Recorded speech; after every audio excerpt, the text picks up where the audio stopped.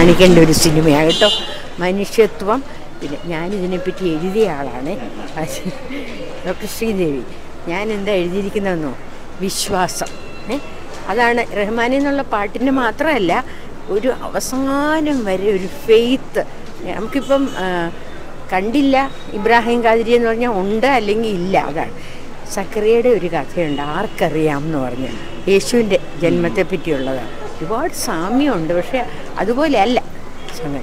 പിന്നെ അളിഞ്ഞ രീതിയിൽ സ്ത്രൈണ ശരീരങ്ങൾ കാണിക്കാതെ നല്ല അന്തസ്സായിട്ട് പൗരുഷമുള്ള ആളുകൾ സിനിമ എടുത്താലുണ്ടല്ലോ.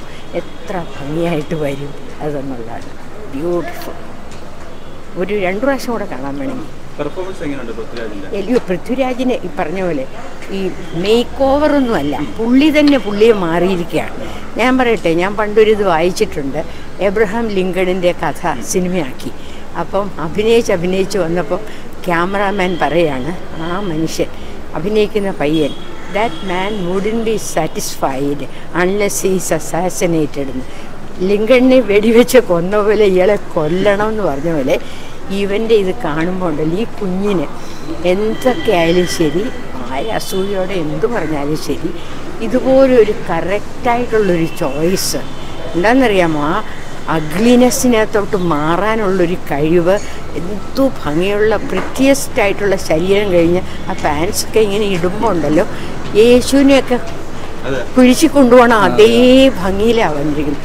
പറഞ്ഞാൽ നിൽക്കില്ല അത്ര സങ്കടം വരും. ഓരോ ഉമ്മ ഉമ്മ വിളിയും കഴിയുമ്പോൾ ഉണ്ടല്ലോ നെഞ്ച് കുലുങ്ങും. ഭയങ്കരമായിട്ട് കുലുങ്ങും. അത് ഷുവറായിട്ട് ഞങ്ങളിപ്പോൾ പറഞ്ഞുകൊണ്ട് വരികയായിരുന്നു ഞാനും എന്റെ കുട്ടിയാണ് പഠിപ്പിച്ച ആളാണ്. സരസ്വതിയും കൂടെ പറയായിരുന്നു. ആഹ് എത്ര ആയാലും ശരി എന്ത് ആര് പറഞ്ഞാലും ഉണ്ടല്ലോ. ആ പ- ഒരു അസൂയയുടെയൊക്കെ അവസാന വാക്ക് തീർന്നാലും ഉണ്ടല്ലോ. ഇത് ചുമ്മാ പുഷ്പം പോലെ നിരങ്ങി വരും അതിൽ കൂടെ. ആ മണലായിരുന്നു കൂടെ എനിക്ക് ഒറ്റ സങ്കടം ഉണ്ടായിരുന്നു. ഇപ്പം എനിക്ക് കാര്യം മനസ്സിലായി എന്തുകൊണ്ടാണെന്നും എന്താണെന്നും. ബെന്യാമിൻ എഴുതിയ പുസ്തകത്തിനകത്ത് നജീബിന്റെ അടുത്ത് ചെടികൾ വർത്തമാനം പറയുന്നുണ്ട്. സർവൈവലിന് വേണ്ടിയിട്ട് ഒരു കൊച്ചു പൂവ്.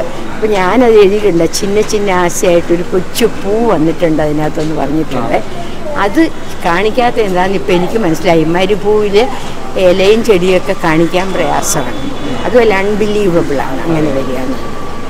അതുകൊണ്ടായിരിക്കും എനിക്ക് അല്ലെങ്കിൽ അതിനകത്ത് പറയുന്നുണ്ട് ബെന്യാമീൻ പറയുന്നുണ്ട് കൊച്ചു പൂ പറയാണ് വീണു പോകരുത് വീണു പോകരുത് എന്നെപ്പോലെ ഇങ്ങനെ എണീറ്റ് നിൽക്കുക നിൽക്കുക ഇങ്ങനെ സർവൈവ് ചെയ്ത് വരണം എന്ന് പറയുന്ന ഒരു സിമ്പൽ ഓഫ് ഹോപ്പ് എന്നാണ് ആ പൂവിന് ഞാൻ എഴുതിയിരിക്കുന്നത്. എന്റെ പൂവിന്റെ സിമ്പൽ മാത്രം കണ്ടില്ല ബാക്കിയെല്ലാം കണ്ടു. ഐ എം സോ ഹാപ്പി ഇങ്ങനെ ആണത്തുള്ള പൗരുഷമുള്ള മനുഷ്യരെ അഭിനയിക്കുമ്പോൾ ഉണ്ടല്ലോ.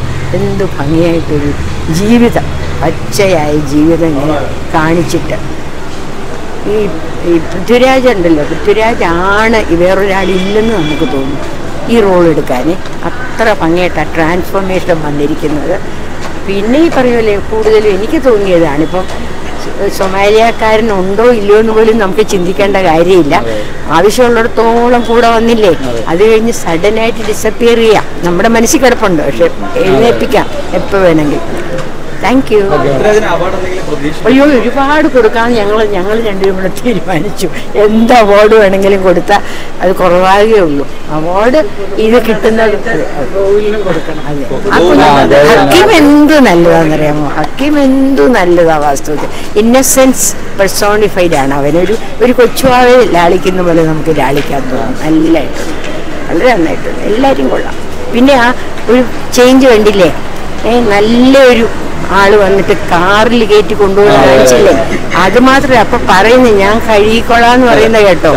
ശാരീരികമായിട്ടുള്ള അല്ല മാനസികമായിട്ട്. അപ്പോൾ ആർക്കും പിണങ്ങേണ്ട കാര്യമില്ല. മുസ്ലിങ്ങളെ പറ്റിയൊന്നും ഒരു മോശമായിട്ടും കാണിച്ചിട്ടില്ല. The best Muslim as well as the bad one അത് ബാഡ് അല്ല. എന്താണെന്നറിയാമോ കാട്ടറബി ആയിട്ടുള്ള ആ മനുഷ്യർക്കുണ്ടല്ലോ. നമ്മൾ എന്തിനാ വിചാരിക്കുന്നത്? സാംസ്കാരികമായിട്ട് ഒരുപാട് ഉയർന്നവരാണെന്ന്. അവർക്ക് വെള്ളം കുടിക്കുന്നതും പാൽ കറക്കുന്നതും അടിക്കുന്നതും ഇടിക്കുന്നതും ഒക്കെ മാത്രമേ അറിയാവുള്ളൂ. അവരുടെ നാട്ടിൽ ചെന്ന് കഴിഞ്ഞിട്ട് പിന്നെ കുറ്റം പറഞ്ഞിട്ട് കാര്യമില്ല.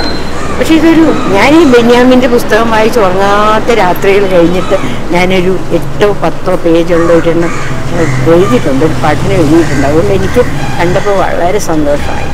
വളരെ വളരെ നന്നായിട്ടുണ്ട്.